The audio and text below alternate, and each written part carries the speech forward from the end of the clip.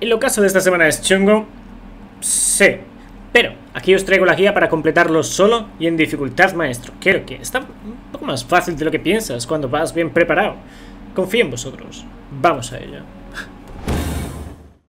Nuestro patrocinador Blazing Boost ofrece servicios de ayuda en Destiny para ayudaros a conseguir aquello que más queréis del juego, al mismo tiempo que aprendéis con ellos. Desde la incursión de cámara de cristal en dificultad maestro hasta las pruebas de Osiris, pueden ayudaros con todo lo que necesitéis y además ahora contamos con un código de descuento de un 5%, Wild, como veis de fondo en pantalla, y lo podéis usar en cualquier actividad. Blazing Boost es patrocinador del canal desde hace más de un año y cuenta con más de 16.900 reviews positivas y un 5 de 5 en Trustcore, así que es el que más os puedo recomendar y si os interesa os dejaré un link abajo en la descripción. Ahora de fondo estáis viendo todo el equipamiento que traía, podéis pausar un segundo si queréis echarle un vistazo a los mods.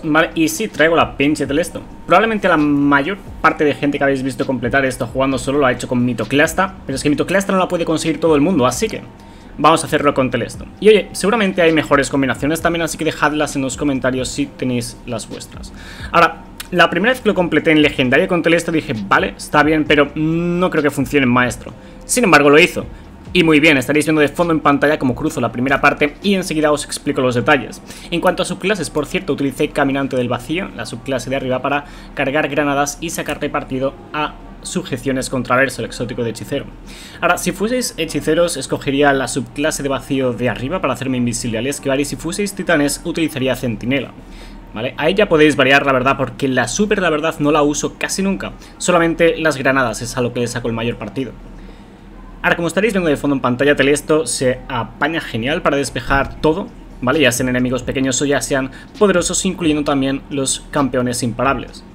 Entonces, lo más recomendado es que, sí, vaciáis el cargador destrozando todo lo que os crucéis de camino, pero lo más importante es que vigiléis la munición, ¿vale? No os podéis quedar sin munición. Entonces es muy importante que eh, cuando estéis quedando sin munición, ya sea de especial o pesada, empecéis a matar enemigos con la principal, el automático, ya que los modificadores esta temporada han cambiado y básicamente para generar los paquetes de munición tienes que generarlos disparando con cinéticas o excepcionales. O sea, puedes generarlos de otro modo, ¿no? Pero eso eh, hace que sea más sencillo y básicamente es muy fácil generar eh, paquetes de munición si te pones a disparar con el principal, en este caso el automático. De ese modo conseguí pasarme el asalto. Si no fuera por eso, no podría generar la munición necesaria probablemente y, dependería más de la suerte que de otra cosa. Así que será muy importante el que vigiléis la munición y el generarla. Más allá de eso, ya ves que es muy fácil manejarse con los enemigos, ¿vale? Lo que viene a ser imparables son lo más fácil, ¿vale? A lo que os podéis enfrentar, porque nada más pegarle un tiro ya los tuneas y solamente con dos o tres ya los tuneas lo suficiente, o sea, le bajas suficiente vida como para poder ejecutarlo. Así que los imparables no son un problema, los mayores problemas podrían ser los francotiradores y los barrera. Ahora, en cuanto a los barrera, como veis, estoy lidiando con ellos con fusiles de fusión lineal, vale, y rompiendo el escudo con el automático que va genial a largas distancias. Incluso Telesto, va bien a largas distancias contra colosos, ¿vale? Así que básicamente es cuestión de quitar, bueno, ponerle el escudo, romper el escudo y luego vaciar el telesto o el fusil de fusión lineal, tiros de precisión, claro, para terminar con ellos. Al margen de eso, ya hemos pasado por campeones, enemigos normales, lo más complicado de todo el asalto vendría a ser lo que estáis a punto de ver ahora, ¿vale? Que es la sala de los tanques, esta sí es el verdadero problema. Entonces, hay mucha gente que se vuelve arriba en la sala, que retrocede, eh, no lo recomiendo, la verdad, o sea, probablemente es más arriesgado que quedarte en la sala dando vueltas. Lo que más recomiendo es que utilicéis las posiciones que veis que estoy tomando de fondo en pantalla para defenderos y para moveros por el mapa y que mm, terminéis con todos los enemigos cuanto antes. Me explico, o sea, los legionarios son los primeros que van a avanzar a vosotros Así que lo, lo, suyo es que terminéis con ellos cuanto antes. Siempre hay una oleada de legionarios que avanza primero, ¿vale? Y luego tenéis que lidiar con los poderosos hasta que vuelve a aparecer otra oleada. Entonces lo mejor y más importante es que terminéis con los francotiradores porque si no van a estar todo el rato molestándoos, apuntando. Luego termináis con todos los legionarios y luego os tomáis un momento para terminar con los poderosos. Vale, como veréis ahí ya gasto la super, gasto granadas y con el telestro de hecho no tengo ningún problema para terminar con los poderosos, ¿vale? Incluso aunque tengan el escudo puesto y sea solar o de arco con telesto, le meto un par de ellos, le rompo el escudo y con otro par ya termino con ellos. Así que realmente es sorprendentemente bueno este build, lo utilicé un poco por el meme, ¿no? Telestoys de esto enfoca el resto, por supuesto, pero oye, lo es, ¿vale? Así que sí, muy buena recomendación, incluso para los francotiradores, si apuntáis un poquitín bien desde cerca os puede ir bien en caso de que no tengáis munición. Y bueno, de hecho el mismo automático es muy preciso, así que con eso también podéis terminar con los francotiradores. Ahora, otro de los grandes problemas en esta sala son ah, los vehículos, ¿vale? Los iónicos que andan en vehículo, así que sí, más telesto para ellos. O sea, la verdad es bastante sencillo el asalto cuando usas este build. Eh, probablemente tengáis que pegarle dos tiros bien pegados o tres para destruir completamente el vehículo. Y como veréis hay tres, ¿vale? Siguiente recomendación y eh, siguiente truco para esta sala, que es la más complicada de hecho, es que una vez terminéis con todo, dejéis solamente uno de esos vehículos, es decir, ir limpiando la sala por completo hasta dejar el que hay al final, que de hecho probablemente estaréis viendo ahora de fondo en pantalla, y básicamente eh, terminar con él al final después de haber recogido toda la munición, haberte preparado, ¿vale? Porque una vez termines con él, aparece otra gran oleada de enemigos, incluyendo los dos tanques, que esos son de lo más peligroso. Entonces, una vez aparecen los tanques, os recomiendo retroceder inmediatamente y volver a hacer lo mismo, ¿vale? Limpiar a los legionarios y a los francotiradores lo primero, ¿vale? Veréis que van pusheando, ¿vale? Van acercándose a vosotros, así que en cuanto antes. También mucho cuidado con los eh, perros que aparecen de vez en cuando y que pueden sorprenderos, o sea, estad al tanto del radar básicamente cada vez que aparece una oleada. Entonces, una vez despejéis de nuevo los chiquitillos y los francotiradores, termináis de nuevo con los poderosos y con la calma vais terminando con los tanques. Dependiendo de la cantidad de munición de fusil de fusión lineal que tengáis, quizás os va mejor terminar antes con los tanques, ¿vale? Probablemente tengáis que pegarle tres tiros a cada una de las patas, ¿vale? Y romper dos patas para terminar con uno de los tanques y quizás algo más, quizás cargar alguna granada, poco más, tampoco es tan, tan complicado, pero el problema es que os pueden matar de un solo disparo, por eso tenéis que tener mucho cuidado una vez aparecen. Entonces, como os he dicho, es cuestión de limpiar la sala, luego poderosos vigilando los tanques y finalmente ya los tanques con la calma. Una vez ya termináis con esa sala, recogéis toda la munición posible y continuáis. Ahora, las siguientes eh, salas no son tan complicadas, ya estaréis viendo cómo avanzo de fondo en pantalla. Lo más importante es que tengáis en cuenta a los colosos que aparecen en espacios cerrados hay ciertas ocasiones en las que veréis que al entrar en la sala hay unos colosos ya esperando, incluso detrás de cajas en ocasiones.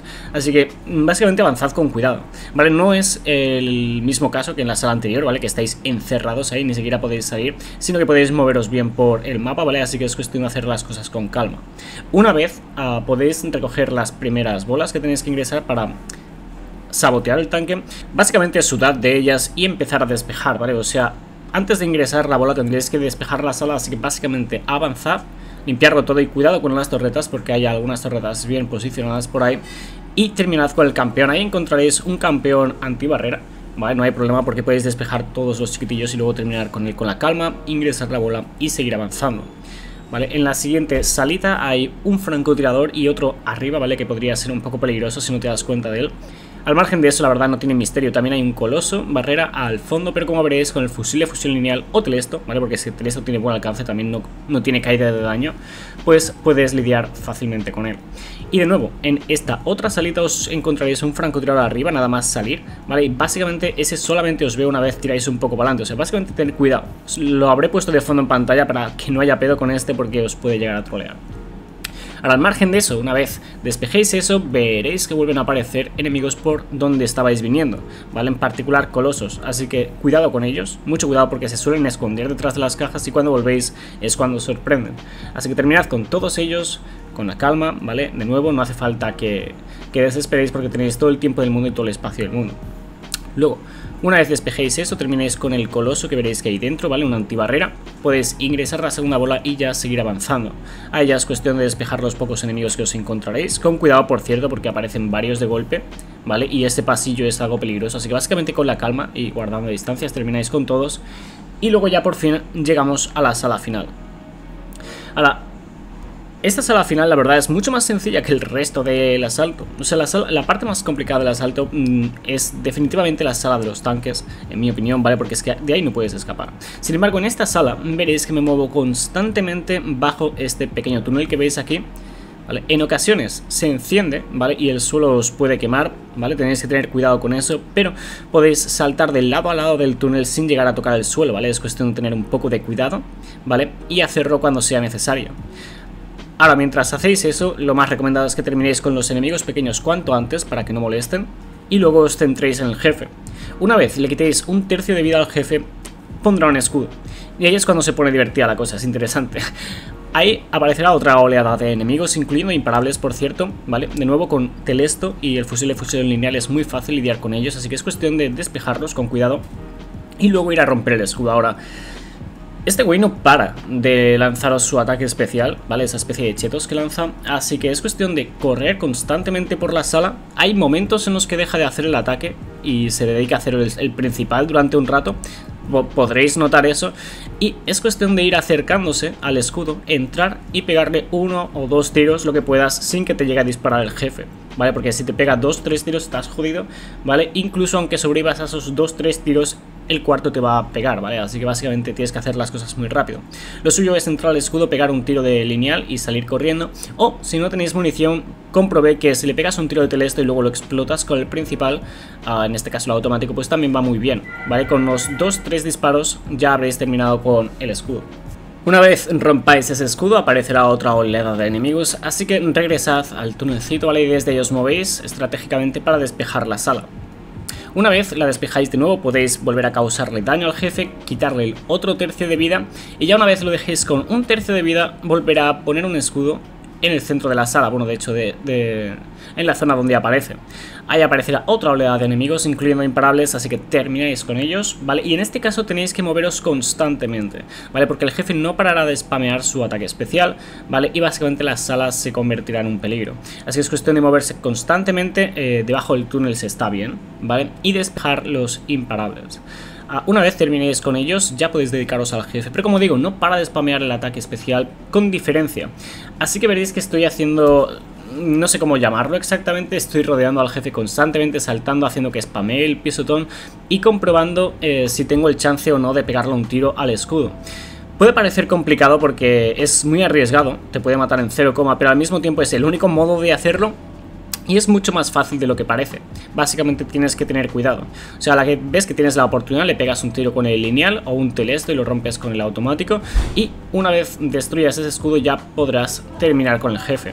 Ahí aparecerá una última oleada de enemigos, así que básicamente tened cuidado con ello, despejadlos todos y ya dedicaos a causarle daño al jefe. Y ya con esto lo habríais terminado buenas recompensas, suerte con ellas. Ahora sí, o sea, es realmente sorprendente que este build con Telesto haya funcionado y además tan bien con diferencia, o sea, incluso parece funcionar mejor que el build con Mitoclasta, que es lo que han usado todos y, y de nuevo algo que no mucha gente puede utilizar porque es difícil conseguirlo, así que espero que os haya servido de ayuda. Y ahora no sé si esto funcionará para Gran Maestro, vale, los escudos son bastante más resistentes, pero lo mismo pensé, cuando pasé de leyenda a maestro. No pensé que fuera a funcionar en maestro y funcionó sorprendentemente bien, así que quién sabe.